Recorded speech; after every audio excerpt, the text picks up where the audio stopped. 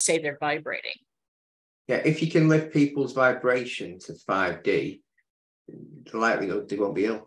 So, right. So the higher the vibration people are, the less ill they are. Right.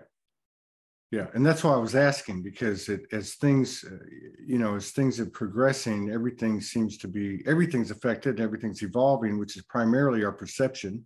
I would say that take that back, our perspective, um, because I can I associate perception with um, illusion, or you know and our perception is our reality but our higher perspective is is is takes everything in into consideration. But as that as that enhances uh we start to see things differently and these things start to to kind of blossom. So if you take like uh you know i know early on i was uh, you know i was directed to do this type of work healing type of work and it, it resonated with me phil what you said because uh, in the in the you know couple of dozen instances that I had that I played that role, um, it was always very important that they understood what what the root cause was, be it uh, you know uh, a trauma in this incarnation or something in a past life or something in an ancestral lineage.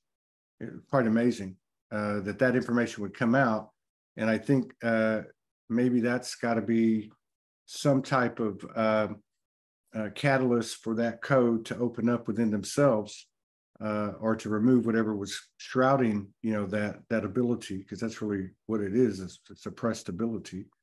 Uh, yeah this is quite fascinating. So now um, are you now like in, in terms of what you're doing now i know you're moving. You guys are what in arizona? Is that where you're at? Yeah. Yes yeah are, are you moving back to new england or where are you going no we're, we're moving to florida oh okay Happy oranges. That's where we started. oh well, there you go. Most of our um, and our but, and our grandkids are. Okay, so once you get settled, the three of you are going to continue to do these three a month, right? Yes. Okay. And uh, wow, that's that's incredible. And now, do you do you do everything together, the three of y'all? I mean, or do you have yeah. your own uh, practices? Well, no, I mean, we do a lot of private. We do private sessions together. Yes. Um, but yeah. yeah, we we do some that are just the two of us, or um, Phil does private sessions with just him too. Okay. I mean, we do stuff on our own that where people just request him, or some, right. some just request us. There's been a lot of talk, obviously, about dark and light, good and evil, uh, all that stuff, masculine and feminine. we don't know which one's evil and which one's good. I'm kidding. You know, don't don't get mad at me. My wife's probably going to kill me. Uh, but no, seriously, there's been a lot of discussion about polarities, especially in this dualistic realm. Uh, and and we've watched that evolve over the years. And I think it's a great uh, thing to ponder with accomplished healers like yourselves. Uh, just because somebody refers to something as a demon or an entity or whatever, uh, there are many. Uh, there's there's a more expansive expansive connotation to things now. Uh, there's more unification, more zero point perspective now.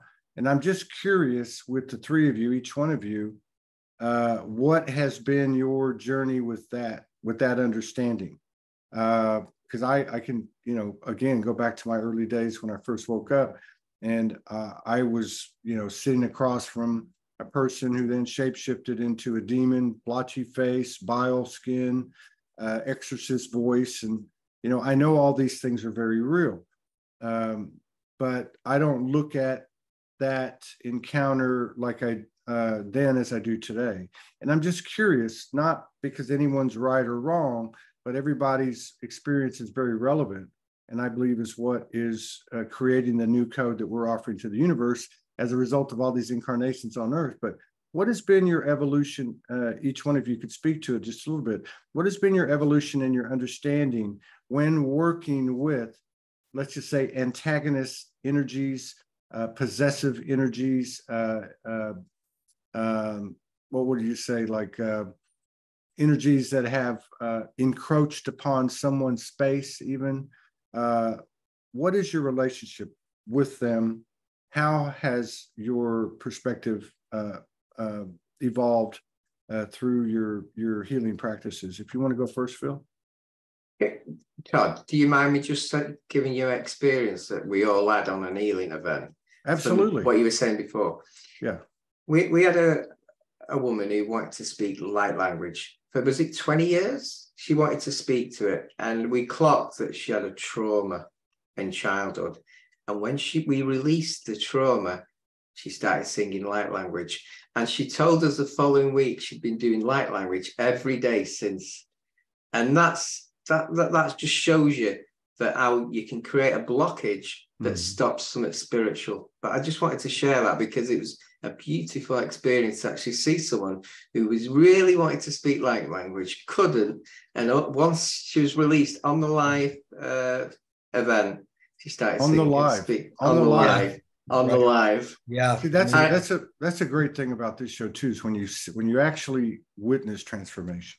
Yeah, you know. But so but go, trying to release a trauma in a childhood on a live is a tricky, tricky experience because you don't know what yeah, you're that was beautiful. That, that it was. was you remember that one? Yes, yeah. I do. oh yeah. That, that gave that gave had, me. We've had, we've had some really really dark ones. Yeah. Um, you know that it yeah. took a lot. It took uh, like most of one session, if you remember. Yes, um, day. For one night. And we see him week, months later, then they've completely changed. It's yeah. changed him completely. Oh, totally different. He looked totally different. Yeah. Right. But what what my understanding of demons, dark beings, anything, if they affect humanity for no good, then I'm involved. I've got to sort it out. If they're here and they shouldn't be, I will try and get them, take it, take them back basically where they come from. But if they affect it, now people have implants. My team goes into the implants, and we end up in some strange places. We end up on yes. spaceships. We end up on uh, different lands. Uh, end up being a bit of a battle, and uh, they affect. They deliberately taking the energy off them. They deliberately making them have emotional stress. They deliberately making them have pain, and we need to get rid of that. Obviously, if they've willed it in, then we're in a very, very different predicament because they've asked for this experience. Yeah. Right. So right. And then, every every person has a different different method. If they've got the demon and they're under 16, I still will say, well, hold on, they're young, too young to even decide. So I'm still involved. And I've, I've seen some really really wild experiences and yeah. i see it in remote viewing. And, and, then, and then many times close the portals that they can yeah. Yeah. Yeah, I, I was on Orion once and I ended up uh, when I went to the healing center this they actually saw five blacks. One of the healers said, You've got five black gooey spiders on you. I said, I haven't cleansed myself properly yet. Can you clear it for me? But uh, yeah, I mean, I, I I feel like that, you know, especially here on Earth, we're so universally seated. There's so many different, um, you know, I guess uh, uh, compositions of uh, a soul. Hmm. Uh, there really is. I mean, there's so many different uh, lineages and such, and we all have different ways of describing it and experiencing it, and the way we see it uh, you know, I've had my own journey over the years with dark and light, and uh, for the last seven years, you know, really haven't experienced. I've experienced dark entities in a big way, but I, I my process is very simple. I just open my heart, you know, uh, to them, and and uh, you know, that's my that's my own way. I'm not advising that to anybody, uh, because ultimately, um, you know, at least where I'm coming from, is is it's all about containing or or owning it all. But at the same time, I realize that there are many different uh, stations in life. Many and, and none is better than the other. They're just different experiences. And I do feel that that's a very important topic right now because of the the uh, external world and what's happening internally with so many people as things are coming up and our prejudices and biases are being challenged. I mean, uh, one of the things that I learned early on in working with the dark energy, I certainly had the power because I carried the warrior as well. And I've been in the trenches of hell many times, and I understand that I was there and have chosen to go there to to understand that which I will be opposing. you know what I mean? you got to become that which uh, you know which you're going to face. But um, one of the things I realized early on is I had the power to drive them out, Mm. but they would come back. And the reason they would come back is twofold. One is because the person, uh, as you said earlier, didn't have the level of belief. Uh, but another reason was is because I carried the charge, uh, and uh, so then I worked out, you know, that it that it has to be brought into equilibrium. Uh, so I think these things are very important um, because because things are changing so fast, and because there's a lot of, uh, you know, a lot of in the external, which is a projection of our internal. There's a lot of uh, division and separate uh, separation uh, by things as silly as politics and religion and you, you know just what country you were born in and what side of the state were you born in and that type of thing. I do think uh, these healing experiences, we'll call healing experiences, are so important uh, because they they they may not teach us in terms of uh, your typical instruction. This is this is what this is, and this is what that is, and this is how you do this. But more of the energy that's produced in that moment. Are you noticing in your individual sessions and or in your sessions that you do publicly together? Are you seeing a a widening effect of the energetic experiences that you are part of? Are you seeing uh, it affecting other people in, let's just say, non typical ways or ways that we wouldn't normally see, like just the patient? Are you hearing stories of the patient illuminating others? Are you in public and people are drawn to you? Are people coming to you in greater numbers? Are you noticing a difference in the type of people that are coming to you? I know that's a lot of questions. Yeah, Todd, well I've noticed, I've noticed in the last year or two, a lot more people are, are being attacked dark with dark energies to quieten their energy because we're all growing, we're all going bigger, and they're they're being damped down. And we're taking implants out of people to Yeah. to to to make their make them keep their sovereign power, if you know what I mean. Makes Yeah. sense. So in other words, to keep them from, to keep another, another one to, from waking up, they're Yeah. turning on something that may have even been dormant, Yeah. Yeah. uh, to, to quell them again. Yeah. Do you, well- do you, do you feel Sorry. like that, that, I'm, I'm sorry, I just, do you feel like that, a uh, let me be careful. Uh, there's, uh, Deb mentioned this year earlier, we kind of, we'll have to talk about this year a little bit, but but I've noticed in 2023, especially since March, as things have really started to get hot and heavy, especially June and July, and now we're into August, I've noticed a lot of projection in the light worker community. I've noticed a lot of finger pointing, their false light and, and this bullshit and that, you know, and and I look at it and and, and try to, to bear witness and not and go into judgment or carry a charge. But do you feel like that there's an uptick in what you're describing in terms of these implants being either turned on or turned up to not only uh, suppress someone who's just waking up, but someone who is leveling up that's been awake? Do you feel like that there's an uptick in that? I, I've seen a lot more triggering.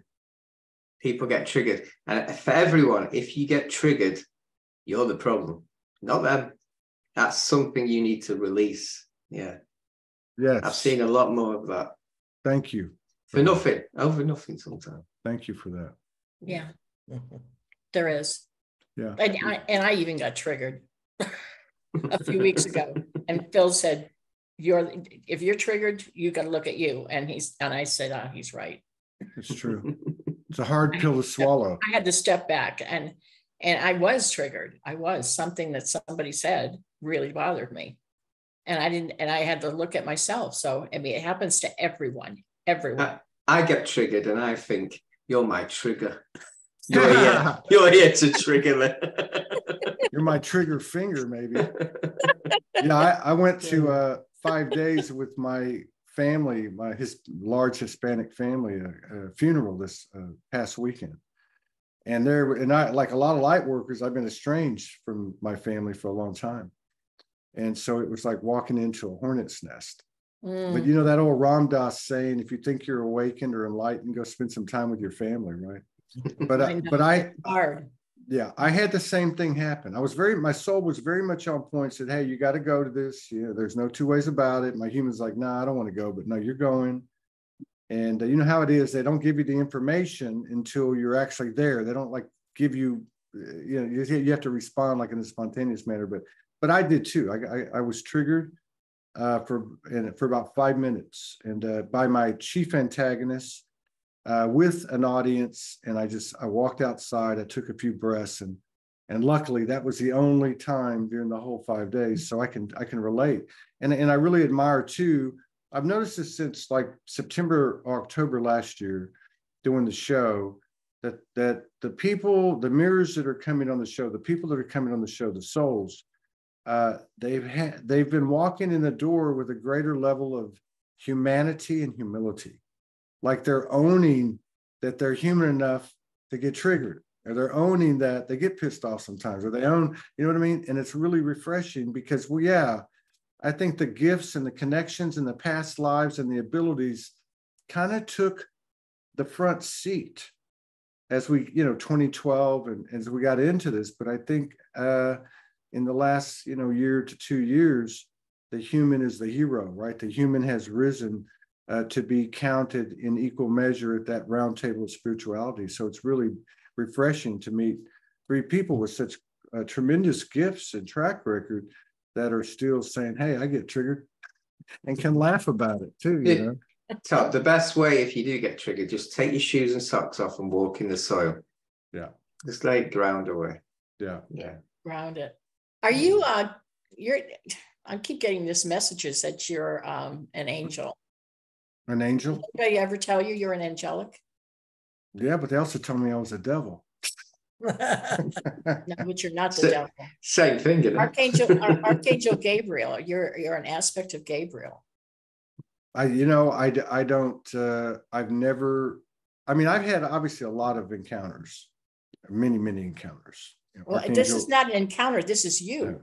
Well, I mean, I, I can speak with, I can speak to my aspects of Michael, Gabriel, Raphael, uh, Uriel. I can speak to a lot of different, uh, so I really don't know. I don't, I'm, I'm not saying yes, I'm not saying no. I mean, I would say yes, but I would say that it's, that, that I, I really, uh, connect to everything. I, I don't find, I don't find, uh, any one, one in particular, although I have had certain emissaries that brought me to the party, like a lot of people do. But, uh, Yeah, at the end of it, we are all one. aren't Yeah.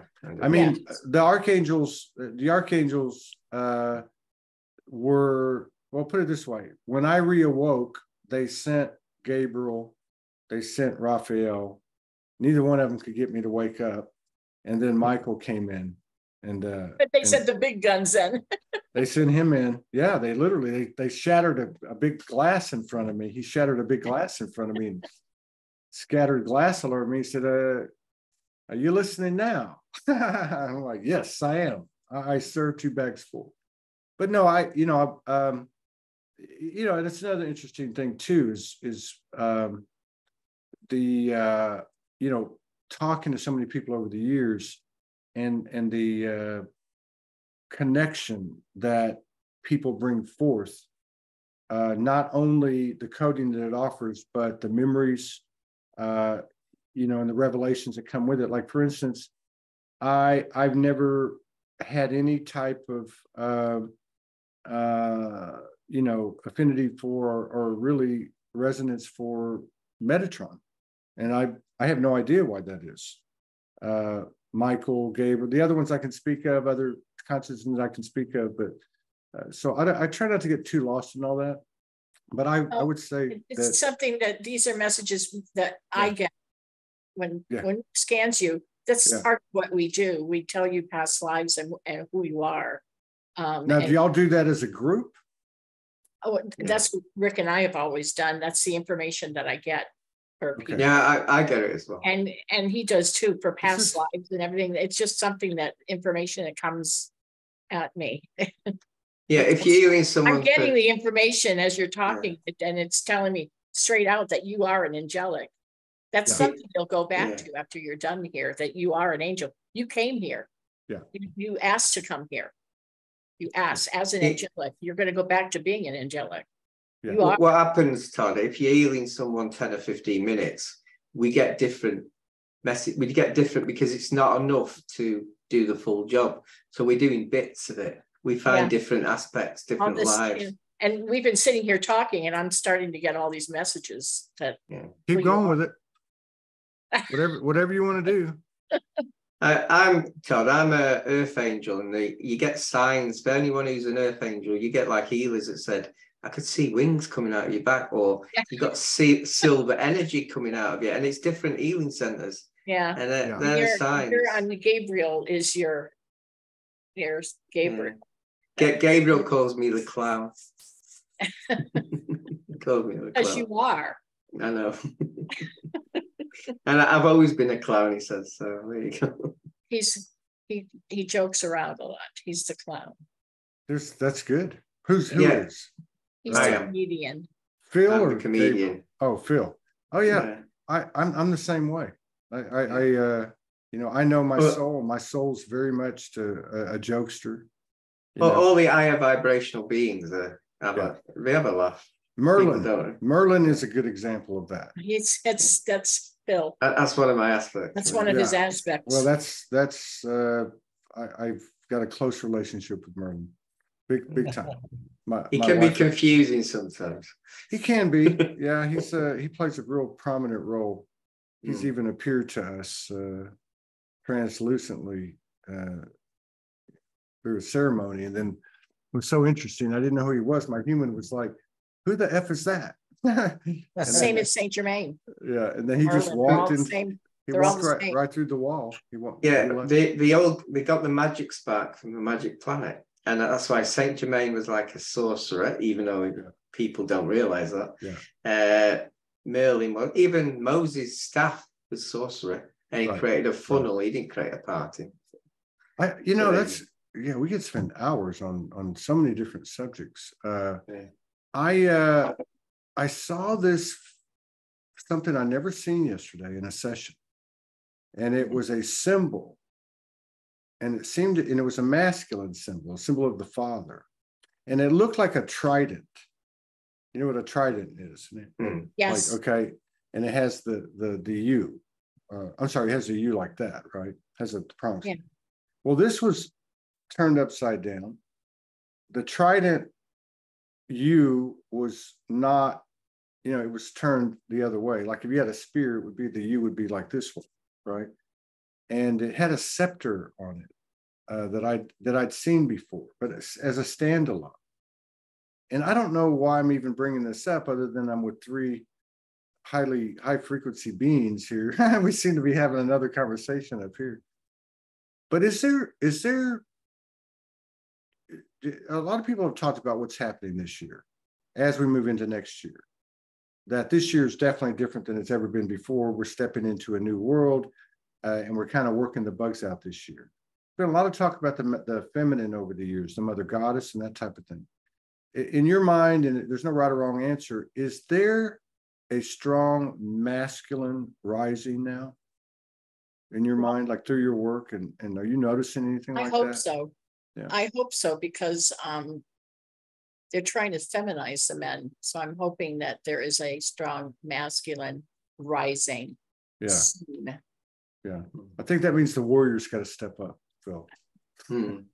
Yeah, I was going to say as well, uh, Ivan Teller said this, that the reason why I'm good with shamanic work is my soul's got dark energy, so I'm invisible to I'm Yeah. invisible. But I do, uh, I also do a lot of work with David Starr, healing the earth, raising the vibration. And I've noticed the earth has got like a, like a tilt, spiritual tilt. It's tilting to the light at last Right. because obviously Earth has been very, very low for a long, long time, and I think it's just tilting back to its original format. So I think everyone who's working, remember healing Earth, lifting the vibration, using eye chakras, bringing it down, is what's needed. That's what's needed uh, as much because once you lift the vibration of the water and the soil and the all the energy, then people, more people are waking up and it's just a big cycling, and we get back to its original blueprint. I, my belief is uh, New Earth is old Earth. It's the original right. blueprint of Earth. Right. Yeah, right. that's my belief. And that's why um, we're here. That's why we're here, basically. I agree. I totally agree with this. Uh, absolutely. Yeah. Like the the uh, the world stage is just taking on a, like a ridiculous type of uh, you know like a false flag you know the, the way the false flags kind of diminished or in terms of their influence and their the hold that they have on people um yeah i was going to ask y'all something i can't i can't remember now oh yeah so i also look at the three of you we're talking about the composition of our soul signatures i guess in a way our souls i pick up a lot of elemental with y'all as well oh yeah okay so i just I just wanted to oh, confirm. Yes. Yeah, yeah, I can see that. My my my, uh, my holidays on the light side of the underworld. I love that, and that's all the element elemental there. The light side of the underworld. Well, the Mother light Mary, side. Mother Mary, Mother Mary once told me you you you are from the wildest part of the universe, but there is the wild goodness. You you are the wild goodness of the universe, but you are you are the extreme. Yeah. So yeah, I think uh, you definitely definitely have to have uh you know like a a, a broad representation of the light you know there's all different types of specialties and, and knowings and not everybody wants to go into the pits of hell you know i mean um, i'm i'm used to getting you know hooks in my eyeballs and being dragged across the floor you know but but again to have the the uh, uh, you know the the the understanding of what we're doing right? Uh, as we've gone through all these things.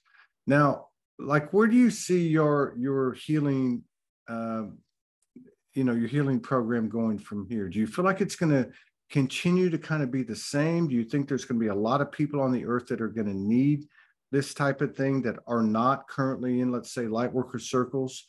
Uh, or do you feel like it'll be changing um, to serve those that you may have already served, but at a higher and a different level? we uh, we are taught uh, so as it changes we are taught new ways mm. of doing this. So um, and they bring us what who needs the most important healing done. So whoever comes to us with something new we're taught then what, always, what, needs to be done. We're, I, I channel it. It's always right. it's always changing. It is right. always changing. So they they bring them to us. And uh, we have Rick and I have 12 ancestors with us at all times. They're all indigenous ancestors. So right. they're Native American, they're Mayan, and uh, they also bring down the energies. So they're they're here with us. And I have two Native American guides that are are helping. And I have a, a Elver Soul who is Cochise uh, chief. So he's showed up recently. Far so, out. that was in Sedona. That was in Sedona, yeah. actually, yes. When you were he's I was like speaking light language in between all of the rocks, the big Cathedral Rock and Bell Rock. And oh yeah, yeah. That little language. strip, that little valley coming up from VOC. Yes, that was it's amazing. I've been there. I've been there eleven times. I was there about six months last year, but uh, the first time I went, I was coming from VOC, I'd stayed the night in VOC, and uh, my friend said, "Take my car."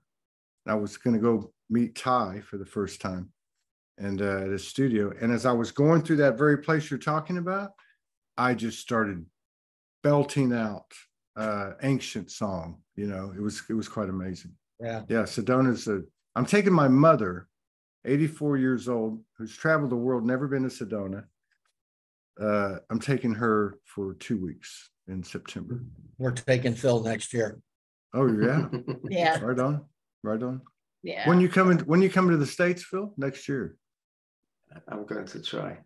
Yeah, you're going to. I think you got me on that one. Uh, well, you might as well. You might as well, you might as well come in December and come to the Soulogy Fest in Houston, December mm. 8th, 9th, and 10th. Oh, well, he go. can come anytime he wants. He always has a place to stay. So there you go.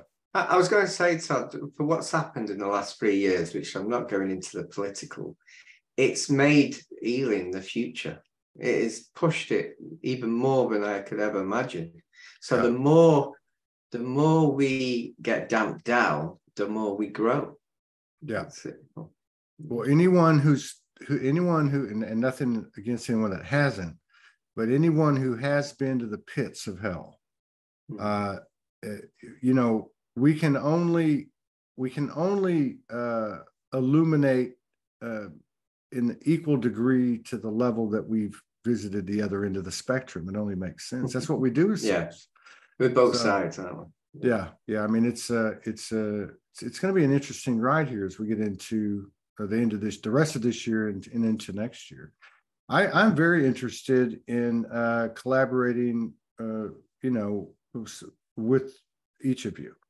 Hmm. Uh, I'd love to explore the ideas of of having you back on together. Uh, I like to look at things in a creative way. Uh, you know, when you don't have a box, it's kind of hard to step out of the box. But if you've been out of the box and in, you know, you can kind of find yourself in a box. So I'm always looking for creative ideas, and we're really expanding the network now. It's not about me. It's about you know our our motto is built for the community, built by the community. So I was given um, uh, what I call 5D commerce template template by the Arcturians in 2018. I started downloading this stuff in 2012 uh, but specific to what's happening now with the network, where one third of everything that comes in goes to the content creators based on a percentage of their engagement, of their viewership, and everything's transparent. So this is kind of what we're moving towards.